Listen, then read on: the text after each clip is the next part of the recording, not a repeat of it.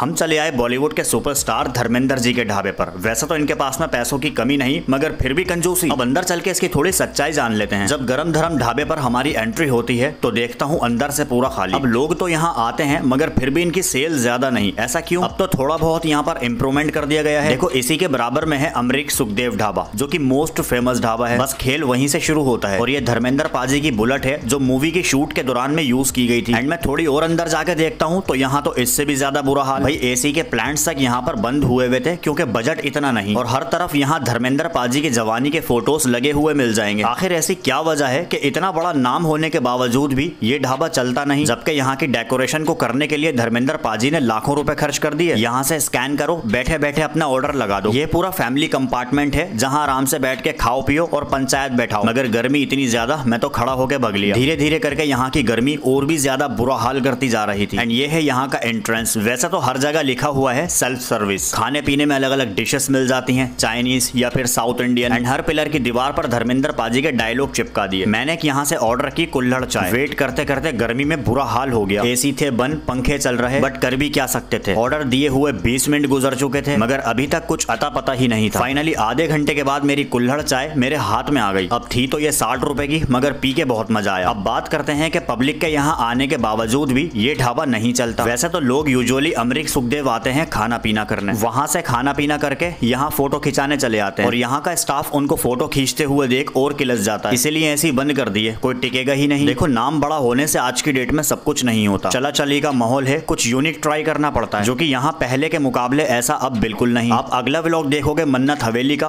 वहाँ कितना इम्प्रूवमेंट किया गया है आपको खुद ही आइडिया हो जाएगा यहाँ तक आ गए हो तो सब्सक्राइब एंड फॉलो करते जाना जल्द मिलेंगे खुदा हाफिज